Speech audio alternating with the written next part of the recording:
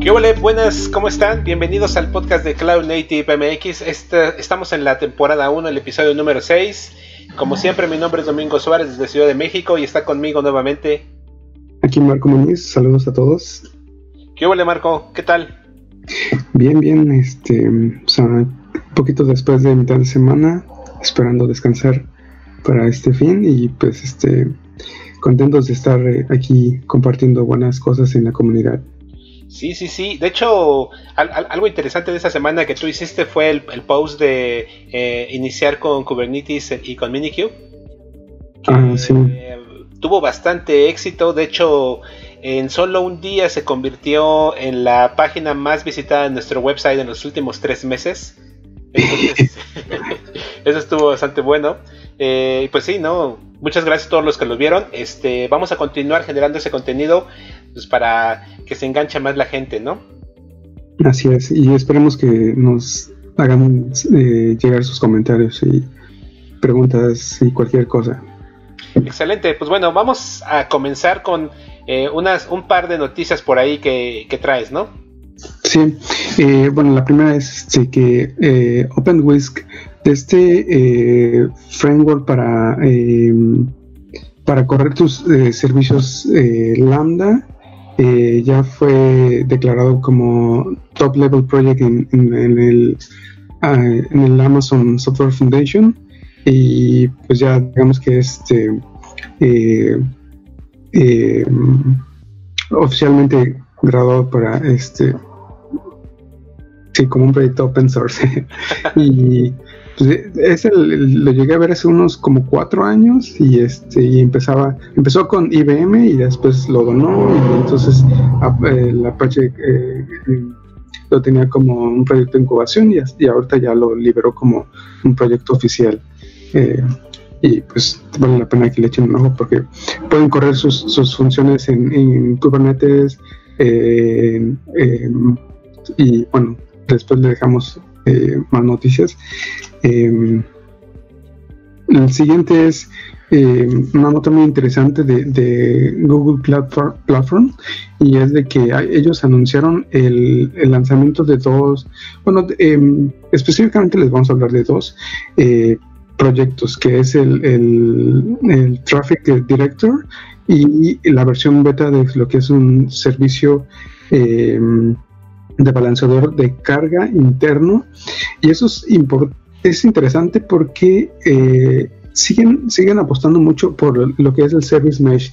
Y lo que es realmente el Traffic Director es lo que sería como un eh, control plane pero es para eh, un poco más de manera global, no solo para tu eh, plataforma de microservicios, sino inclusive para poder eh, administrar el tráfico y aplicar todas esas reglas a un nivel como inclusive entre clusters y inclusive entre clusters o, tus máquinas virtuales que tienes corriendo en tu App Engine. Y entonces eso sí es como, si no tienes como la chance de, moverte a microservicios, sigues corriendo tu, tu, tu eh, eh, aplicación y pues ya utilizas esto para poner, implementar lo que es el Service Mesh y pues el, el Internal Load Balancer, el que te ayuda eh, implementando en, la capa 7 de, lo que es la, la red. Em, Bastante interesante este movimiento, ¿no? Y de hecho, es bueno, aquí revisando la nota, eh, pues Matt Klein, que es el creador de Envoy, que al parecer toda esa tecnología está encima de Envoy, ¿no? Oh, claro, claro, se me olvidó eso. Sí, el, Google solo eh, creó el post, pero el, el quien como que le está dando un poco más de empuje es Matt Klein, como dices, el creador de, Envoy, y todo eso está corriendo o usando este Envoy. Entonces, Google está apostando mucho para eh, Service Mesh y eh, basándose todo en Envoy. Entonces, no quedaría, no sería mal pensar que en algún momento Google eh, mejoraría bastante Envoy. Entonces, sería como un super proyecto. Sí, claro, claro, claro. Pues bueno, buenas notas, buenas notas, buenas noticias por ahí. Y luego ahora nos movemos un poquito a pues referencias, ¿no? Para aquellos que quieren aprender cosas o repasar eh, qué está pasando, ¿no? Claro.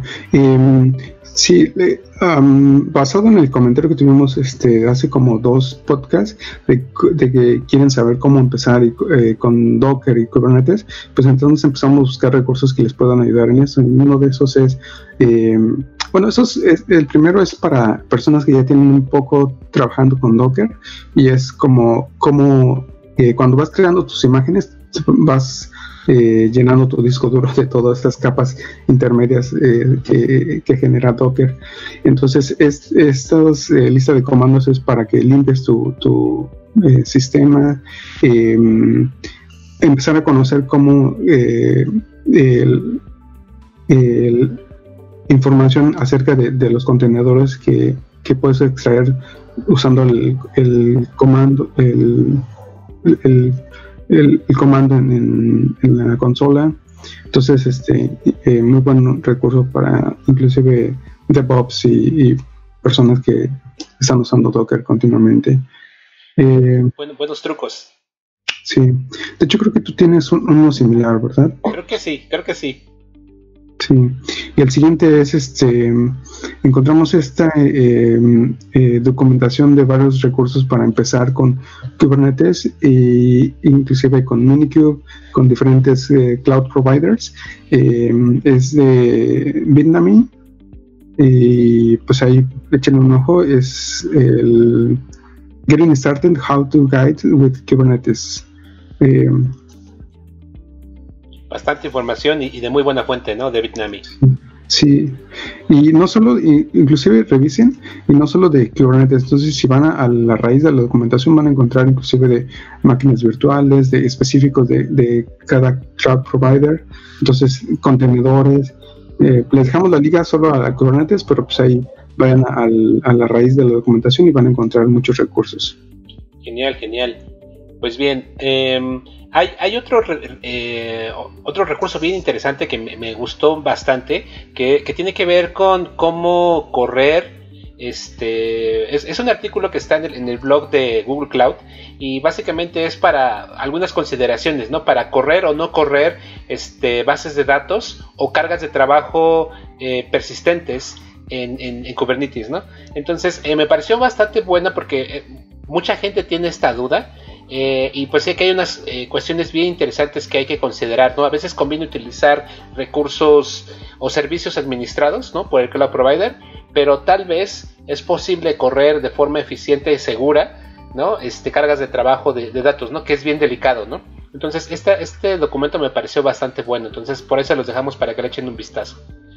Em, otra nota, otro recurso bien interesante que encontré son eh, más de 33 herramientas de seguridad para correr en, Kubernetes. Entonces eso me pareció también bastante bueno porque es algo que, es bien, bien importante, ¿no? Entonces, pues bueno, ahí les vienen desde cómo este, escaneo de imágenes, el runtime de seguridad del runtime, ¿no? de los containers, eh, seguridad de red, eh, distribución de imágenes y administración de secretos. Entonces, eh, viene bastante completo. Creo que es un recurso bien importante como para mejorar la seguridad en nuestros clusters. Em, no, sé si, bueno, aquí en, en DigitalOcean publica, generalmente DigitalOcean publica muy buen contenido en su sitio web, pero ahora veo que últimamente están usando DevTube y publicaron una introducción muy interesante de cómo levantar eh, un clúster de Kubernetes eh, con monitoreo usando Prometheus y Grafana, ¿no? Entonces está bastante bueno por si quieres correr eh, Kubernetes usando DigitalOcean, que en mi opinión es una muy buena alternativa. Entonces, pues bueno, si quieren documentarse o ver, eh, no es tan específico para DigitalOcean, pero creo que les puede servir este, pues para tomar ideas para llevárselo a otros cloud providers si quisieran, ¿no? Em, también, siguiendo un poquito la línea de lo que tú traías, aquí hay unos comandos bastante útiles para usar Docker y Docker Compose. Entonces también ahí vienen varios comandos bien, bien útiles que en muchas ocasiones este, nos van a sacar de un apuro, ¿no? Entonces igual les dejamos por ahí la, referencia. Claro, un comentario ahí. Eh, tal vez si ustedes nos dejaran, nos dijeran más o menos qué, dudas tienen de, Docker para poder enfocar más nuestro esfuerzo de para crear guías, eh, será muy valioso porque pues creo que Docker ya es como demasiado conocido, entonces es como más o menos fácil de, de, empezar a, jugar con él. Entonces, este, si, si, pueden dejarnos un comentario de qué dudas específicas tienen de Docker, será más conveniente para nosotros en crear contenido más específico. Claro, por supuesto. Eh, la participación es muy importante de la, de la comunidad, ¿no? Entonces, igual, este, eh, pues sí, escríbanos en cualquiera de los medios sociales que tenemos para cualquier duda o incluso un comentario en los blog posts que tenemos en nuestro sitio web, este, en nuestro canal de Slack que también está por ahí. Eh, pues vaya, hay muchos medios, ¿no? Hay mucha gente incluso bastante buena, no solamente tú y yo estamos en el, en el Slack, por ejemplo, ¿no? Hay mucha gente más bastante interesante. Sí. Bien, eh, para ir terminando como esta parte de los recursos, también por aquí traigo una notita de... Eh, es una introducción a, los templates de los del ARM de, los recursos de, Azure. Entonces, pues bueno, si hay alguien por ahí que tiene que usar Azure, este, pues por aquí se los dejamos. Eh, nunca está de más. Es un video, entonces yo creo que está bastante bueno porque, pues, bueno, nunca viene mal una, una ayuda, ¿no? Claro. Y después de eso se avientan el, recurso que les dejamos, en la noticia que, noticia que les dejamos, el Driving Enterprise Modernization with Google Cloud, porque tiene un, anunciaron un, un, servicio para migrar sus eh, sus cargas de trabajo de, de Azure to, hacia eh, Google Cloud Platform. bueno, pues ahí hay opciones, ¿no? Hay alternativas, entonces eso, lo hace bueno. Sí. Y pues bueno, ya para casi terminar, vamos a nuestros repos chingones de código. Así es. El primero, eh, deben que eh, em, ahora podemos encontrar varios este, repositorios de GitHub de, lenguajes de programación o tecnologías, que eso va a ser, con este caso es, es Asm Kubernetes.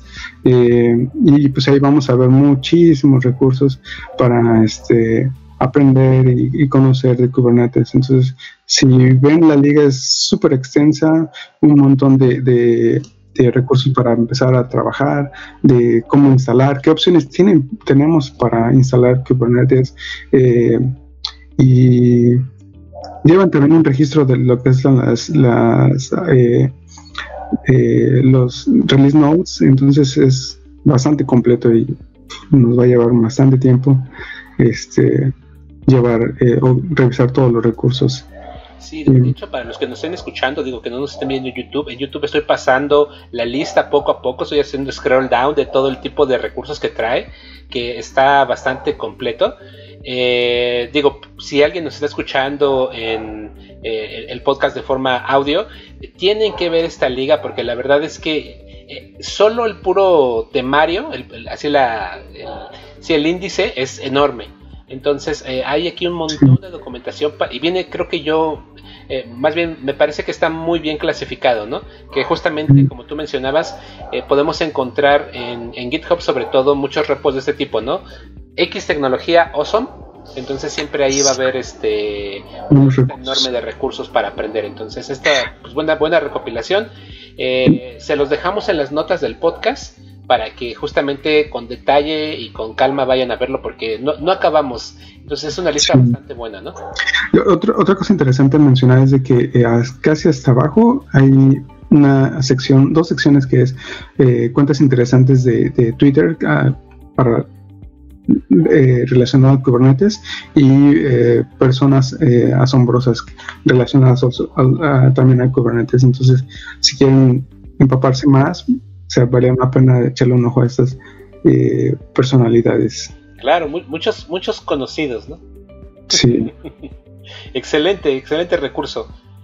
Eh, yo encontré otro repo muy chingón que me gustó bastante eh, porque yo, bueno, tengo una, tengo una necesidad, ¿no? Y esa necesidad es, quiero enterarme cuando, una cuando existe un nuevo tag de una imagen en, un, en un container registry. Em, entonces, generalmente, pues como me gusta siempre tener actualizadas las imágenes, eh, un día a la semana, de las imágenes que más uso, iba y revisaba manualmente si había una nueva versión. Pero bueno, justamente hay una herramienta que se llama Dune que hace ese trabajo.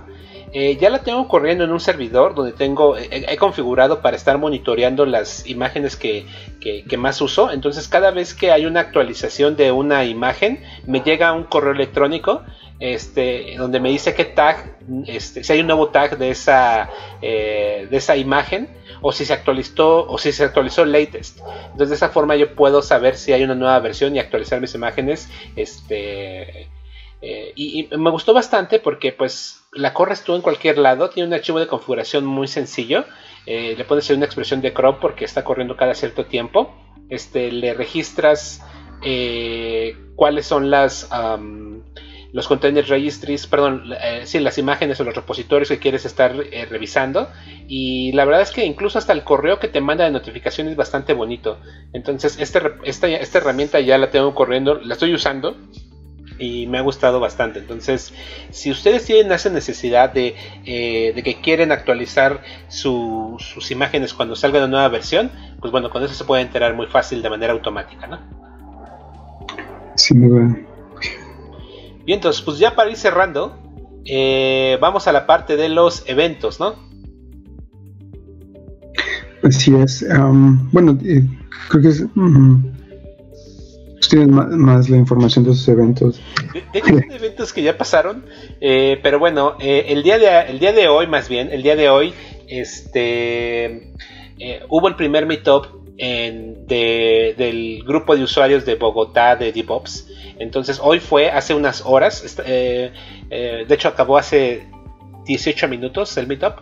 Pero bueno, solamente para, por si nos están escuchando de Bogotá o de Colombia, y si no, si no se habían enterado, hay un, hay un grupo de DevOps en el cual, por ejemplo, hoy hablaron de TDD con Terraform, lo cual me pareció bastante interesante. Y pues bueno, eh, si algún colombiano o alguien está en Colombia, busquen Meetup este grupo, seguramente van a ser eh, reuniones más seguido, ¿no? Eh, otro evento que también está acaba de terminarse hace unos momentos. Este, pues bueno, un saludo también por ahí a este, al buen Carlos Salazar, que trabaja en Kensan. Hoy organizaron el Hack Nights, donde hablaron de Google App Engine. Eh, Mario Morales habló de este tema, entonces me parece que también estuvo interesante. Y ahora sí, ya para terminar, el último evento es un anuncio, ¿no, Marquito? Así es. Em, bueno, recuerdan que Tomix había ah, mencionado de un esfuerzo de varias comunidades este, nos vamos a tener nuestro primer eh, Virtual Meetup el día 14 de agosto a las 8 eh, de la noche en, el horario de eh, Central Time. Este, entonces va a ser un streaming por YouTube. ¿En, qué cuenta van a ser? de Cloud, Cloud Native, por aquí. Entonces este, estén pendientes y pues Voy a actualizar las notas porque este, la charla virtual la voy a dar yo y la charla va a ser acerca de este, los CRDs de Kubernetes. Entonces creo que es un mm. tema interesante para entender cómo funciona ese tema de la extensibilidad del API Server de Kubernetes. Este, y pues espero que les, que les llame la atención. En este meetup virtual está participando obviamente Cloud Native México, está participando Cloud Native Guadalajara, que es un grupo que se abrió hace apenas unas semanas, y también está participando el grupo de Cloud Native Computing de Perú. Entonces eh, esperamos que justamente eh, en cada emisión de esta eh, Meetup virtual podamos ir creciendo o añadiendo más, este, más países porque la idea es llegar a toda Latinoamérica o, en cualquier lugar donde se hable español. Entonces, pues bueno, esta va a ser la primera emisión eh, y pues veamos cómo nos, cómo nos va.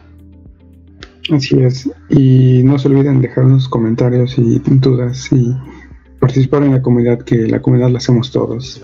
Por supuesto, no, no, nos dejen ahí este aquí nosotros rifándonos para hacer el, el podcast eh, estamos siendo muy, muy este, constantes, ¿no, Marco? Sí, eso es uno de nuestros propósitos, tratar de generar un podcast al menos cada dos semanas y eh, también empezar a generar eh, posts relacionados para despertar interés y, y expandir el conocimiento de lo que es el Cloud Native. Así es. Pues bueno, pues eso sería todo por esta emisión. Espero que les haya eh, gustado el contenido. Eh, y pues bueno, eh, notas finales, Marquito. no, pues estaremos eh, pendientes al, meetup virtual y este y pues recuerden déjenos sus comentarios en Twitter, Facebook y YouTube también. Claro. Sí. Excelente, pues bueno, como siempre, un gusto compartir contigo, Marco. Eh, te mando un saludo hasta la soleada California. Y pues bueno, nos vemos en la próxima emisión. Saludos, saludos amigos y